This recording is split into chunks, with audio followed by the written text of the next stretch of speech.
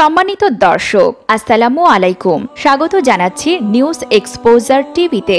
Video শুরুতে আপনাদের কাছে একটি বিনীত অনুরোধ। ভিডিওটিতে একটি লাইক দিয়ে দেখতে থাকুন। আর যারা এখনও চ্যানেলটি সাবস্ক্রাইব করেননি, দয়া করে তারা এখনই সাবস্ক্রাইব করে নিন। আর যারা ইতিমধ্যেই সাবস্ক্রাইব করেছেন, তাদের অসংখ্য ধন্যবাদ। প্রথমেই থাকছে আজকে প্রধান প্রধান সংবাদ শিরোনাম। প্রেমিকের সঙ্গে পালানোর চেষ্টা, মেয়েকে গুলি করে হত্যা করলেন বাবা। বাংলাদেশের পেছনে কেবল আফগানিস্তান ও ভেনেজুয়েলা। চালক খুনে নেতৃত্ব দেন যুবলীগ নেতার অনুসারীরা। একদিনে তিন ডোজ টিকা নেওয়ার খবর মিথ্যা দাবি উপাচার্যের। খোঁজা হচ্ছে সেই ব্যক্তিকে। এতক্ষণ শুনছিলেন সংবাদ শিরোনাম। এবার দেখবেন বিস্তারিত। তবে তার আগে আপনি যদি আমাদের চ্যানেলটি সাবস্ক্রাইব করে না থাকেন, অবশ্যই সাবস্ক্রাইব করে নিন। শুরু করছি বিস্তারিত সংবাদ। প্রেমিকের সঙ্গে পালানোর চেষ্টা মেয়েকে গুলি করে হত্যা করলেন বাবা। প্রেমিকের সঙ্গে পালানোর চেষ্টা করায় নিজের কিশোরী মেয়েকে গুলি করে হত্যা করেছেন এক ব্যক্তি। সোমবার ভারতের উত্তরপ্রদেশে বদায়ু জেলার পারুলি গ্রামে ঘটনা ঘটে। এ ঘটনায় মেয়েটির বাবাকে গ্রেফতার করেছে পুলিশ। আনন্দবাজার পত্রিকার এক প্রতিবেদনে বলা হয়েছে, গত দুবছর ধরে স্থানীয় এক যুবকের সঙ্গে প্রেমের সম্পর্ক গড়ে ওঠে সতেরো বছর ওই কিশোরীর। তারা বিয়ে করতে চাইছিল। সম্পর্কের কথা পরিবারের লোককে জানিয়েছিল মেয়েটি। মা আপত্তি না করলেও মেয়েটির বাবা রাজি হননি। এরপর থেকে মেয়েটির বাড়ির বাইরে যাওয়া বন্ধ হয়ে যায়। এক মাসেরও বেশি সময় বাড়িতে আটক থাকার পর সোমবার ভোরে পালানোর চেষ্টা করে মেয়েটি। তার বাবা নিষেধ করলেও শোনেননি। এক পর্যায়ে দেশি বন্দুক দিয়ে মেয়েকে গুলি করেন।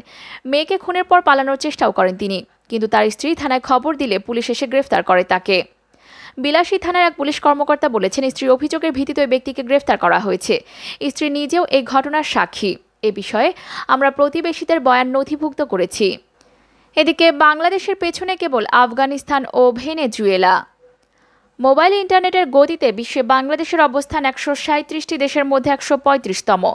বাংলাদেশের পেছনে আছে দুটি দেশ, আফগানিস্তান ও ভেনেজুয়েলা।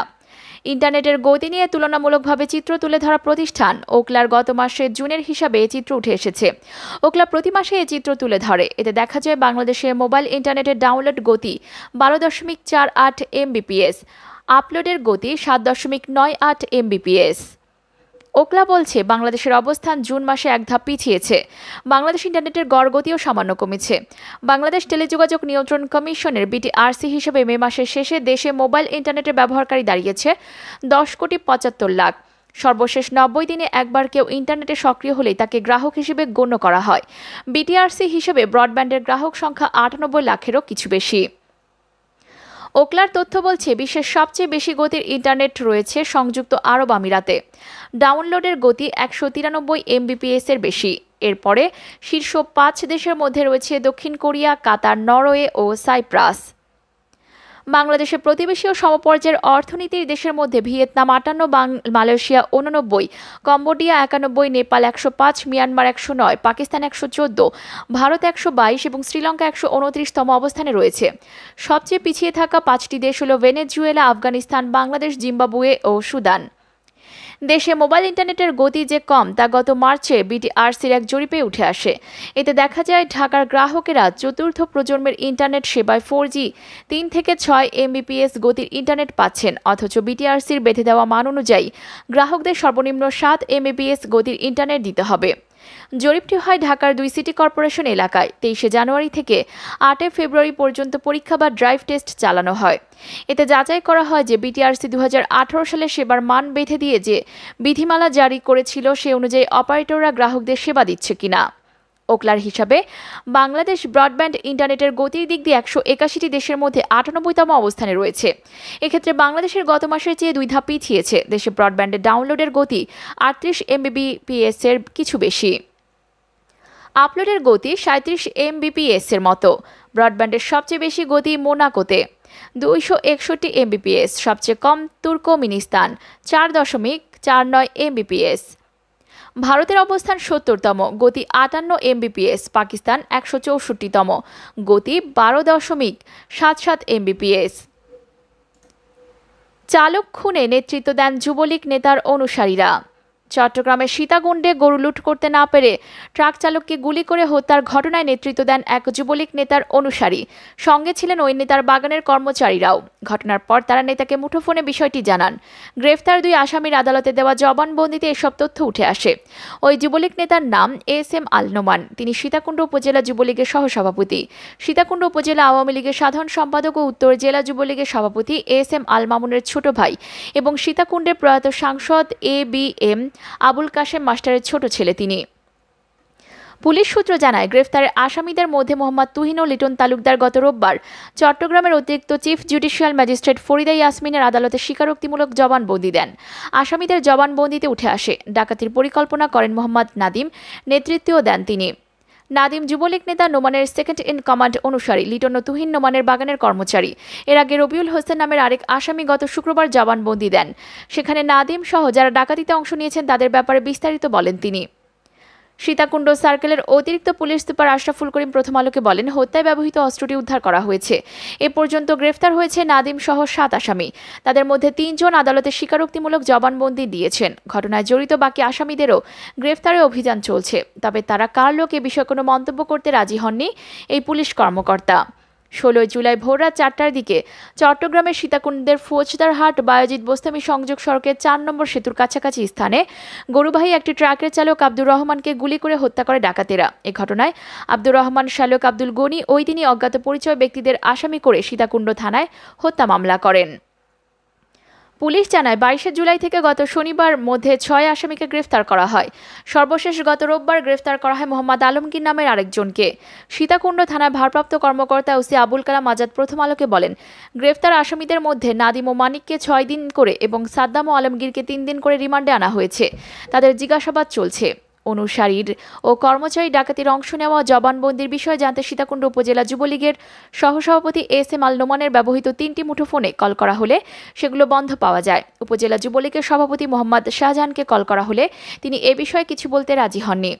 নোমানের বড় ভাই ও উত্তর জেলা যুবলীগের সভাপতি এস এম আল মামুনের কাছে জানতে চাইলে তিনি প্রথম আলোকে বলেন, বাড়তি পয়সার জন্য কারও দারোয়ান ডাকাতি করলে মালিক দায়ভার কেন নেবে? নোমানের সেকেন্ড ইন কমান্ড নাদিমকে আমি চিনি না। এক প্রশ্নের জবাবে তিনি বলেন, জবানবন্দিতে উদ্দেশ্য প্রণোদিতভাবে যে কেউ যে কারও নাম জড়িয়ে দিতে পারে। আদালত সূত্র জানায় জবানবন্দিতে মোহাম্মদ তুহিন বলেন, আমি নোমান সাহেবের জায়গায় দারোয়ান, আমার বস নাদিম। তিনি নোমান সাহেবের লোক। ঘটনার দিন বেলা তিনটার দিকে লিটন ভুট্টু বাচ্চা আলমগীর কাজল ও নাদিম বৈঠক করেন।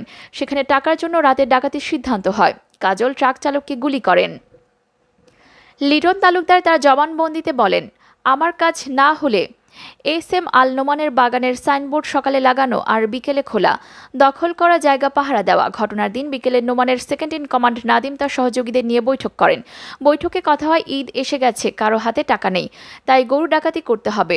ডাকাতির ঘটনার পরের দিন মুঠোফোনে নোমান সাহেবকে পুরো ঘটনা বর্ণনা দিলে তিনি বলেন, আমি দেখছি। মামলার বাদী ও নিহতের শালক আব্দুল গনি প্রথম আলোকে বলেন, আমরা গরিব মানুষ। ডাকাতেরা যতই শক্তিশালী হোক, তাদের বিচার যেন হয়। একদিনে তিন ডোজ টিকা নেওয়ার খবর, মিথ্যা দাবি উপাচার্যের, খোঁজা হচ্ছে সেই ব্যক্তিকে। একই সাথে কোভিড নাইন্টিনের তিন ডোজ টিকা নেওয়া সৌদি প্রবাসী ওমর ফারুক, বঙ্গবন্ধু শেখ মুজিব মেডিকেল বিশ্ববিদ্যালয় পর্যবেক্ষণে রয়েছেন। এমন খবর ফেসবুকের মাধ্যমে ছড়িয়েছে। একসঙ্গে তিন ডোজ টিকা নেওয়ার এই খবর মিথ্যা ও গুজব বলে দাবি করেছেন বঙ্গবন্ধু মেডিকেল বিশ্ববিদ্যালয়ের উপাচার্য অধ্যাপক ডক্টর শারফুদ্দিন আহমদ। মঙ্গলবার সাতাশে জুলাই রাতে টেলিফোনে এ তথ্য নিশ্চিত করেছেন তিনি। বিএসএমএমই উপাচার্য বলেন, বিষয়টি আমার নজরে এসেছে।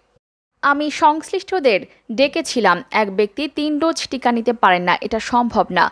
কারণ নিবন্ধন দেখেই টিকা দেওয়া হয়। এমন ঘটনা ভুল খবর। ওই ব্যক্তিকে নিয়ে আসার জন্য বলেছি।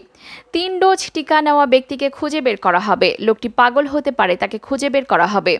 সুস্থ মানুষের পক্ষে এমন ঘটনা ঘটানো সম্ভব না। এ বিষয়ে গণমাধ্যমকে ওমর ফারুক বলেন, আমি যখন টিকা কেন্দ্রে ঢুকলাম, তখন একজন বললেন, ডান সাইডের কর্নারে যেতে। ওইখানে যখন টিকা দেওয়া শেষ হলো, জিজ্ঞেস করলাম, কোথায় যাব? উনি বলল, সামনের দিকে। সামনে আসলাম ওইখানেও একটা টিকা দিল। ওনাকে জিজ্ঞেস করলাম, কোথায় যাব? উনিও বললেন, সামনের দিকে যেতে। সামনে আসলাম, আর কিছু জিজ্ঞেস করে নাই। আরেকটা টিকা দিয়ে দিছে, মোট তিনবার টিকা দিয়েছে। বাইরে এসে যখন বাকিদের জিজ্ঞেস করলাম, আপনার কয়বার টিকা নিয়েছেন? ওনারা বললেন, একবার টিকা দিয়েছে। এ বিষয়ে বঙ্গবন্ধু মেডিকেল বিশ্ববিদ্যালয় উপাচার্য অধ্যাপক ডক্টর শারফুদ্দিন আহমেদ গণমাধ্যমকে বলেন, বিষয়টি খতিয়ে দেখা হবে। এটি বড় ধরনের ভুল হয়েছে। তিন ডোজ টিকা দেওয়া ব্যক্তিকে পর্যবেক্ষণে রাখতে হবে। তিন ডোজ টিকা নেওয়ার কিন্তু কোনো নিয়ম নাই এবং একটা ডোজ নিয়ে একুশ দিনের মধ্যে নেওয়ার নিয়ম নাই। বিশ্ব স্বাস্থ্য সংস্থা নিয়ম অনুযায়ী করোনা ভাইরাস থেকে সুরক্ষার জন্য একজন ব্যক্তিকে দুই ডোজ টিকা নিতে হবে। প্রথম ডোজ নেওয়ার পর চার সপ্তাহ বা আট সপ্তাহ পর দ্বিতীয় ডোজ নিতে হবে। সাধারণত টিকা দেওয়ার পর টিকা কার্ডে সেটি উল্লেখ করতে হয়। নিয়ম অনুযায়ী টিকা নেওয়ার পর প্রত্যেক ব্যক্তিকে ত্রিশ মিনিট পর্যবেক্ষণে রাখা হয়। এমনকি টিকা নেওয়া ব্যক্তির পার্শ্ব প্রতিক্রিয়া দেখার জন্য একজন চিকিৎসকের নম্বর দেওয়া হয় টিকা কার্ডে। কোনো ধরনের পার্শ্ব প্রতিক্রিয়া দেখা দিলে মোবাইল ফোনে জানানোর পরামর্শ রয়েছে কর্তৃপক্ষের। আমাদের এখনকার সংবাদ এ পর্যন্তই। পরবর্তী সংবাদ দেখতে চাইলে আমাদের চ্যানেলটি যদি সাবস্ক্রাইব না করে থাকেন, তাহলে এখনই সাবস্ক্রাইব করে ফেলুন। সঙ্গে থাকার জন্য ধন্যবাদ সবাইকে। এরকম আরও অনেক ভিডিও পেতে নিউজ এক্সপোজার টিভির সাথেই থাকুন। চ্যানেলটি সাবস্ক্রাইব করুন এবং সাথে বেল আইকনটি বাজিয়ে দিন। আসসালামু আলাইকুম।